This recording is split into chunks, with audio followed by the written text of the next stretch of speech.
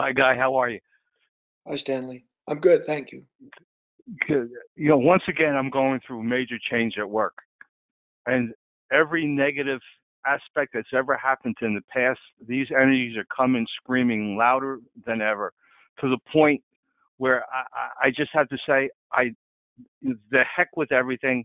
I just let things fall where they are. I, and then, uh, you know, at, at that point, there might be a, a little rest, but it, it, the voices come back so loud and so often. And the only time I really kind kind of feel a little peace is when I could tend to the moment as it is, and everything else kind of disappears. That was my work this week. Imagine for a moment, Stanley, that you're standing next to a coffee shop, a little bar on the street where they serve espresso and mochas. And as you're standing there, just getting ready to add a little cream to your coffee or sugar to your tea, whatever, some fellow walks up to the coffee bar and he starts yelling, starts saying, "Why are you doing this? What's what's the problem? What's wrong? Why why are you?" And he's yelling.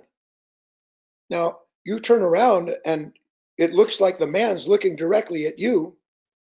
And the first thing, of course, that happens is you cannot help but react and go on the defensive. And the next thing you know, you're getting ready to fight with somebody that you don't even know when, by the grace of God, will make the coffee attendant, the little old man that I use in my stories. He taps on the hmm. window mm.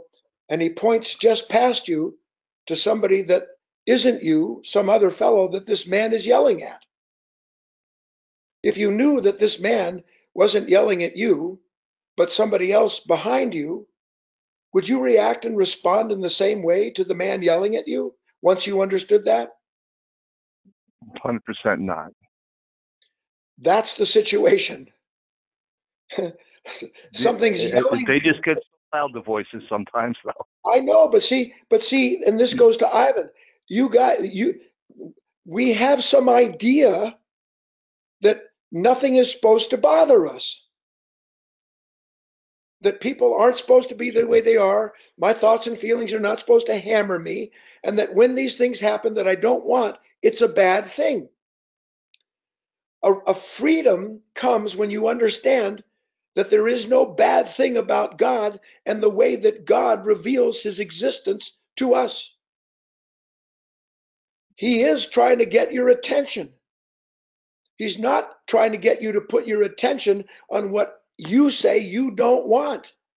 He wants you to want to understand that these voices aren't yours and they're not talking to you.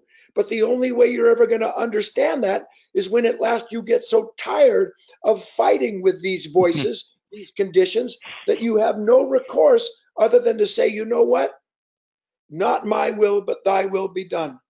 I'm done fighting. It doesn't mean I do don't do what's practical. It doesn't mean that I'm stupid. It means that I cease to take part in a conversation with parts of myself that love to yell at me to get my attention so that then they can drive me by threat to produce what they want me to do so they remain in charge of me. Very good. Thanks, Guy. I appreciate that. You I'll bet. ponder that one. Thank you.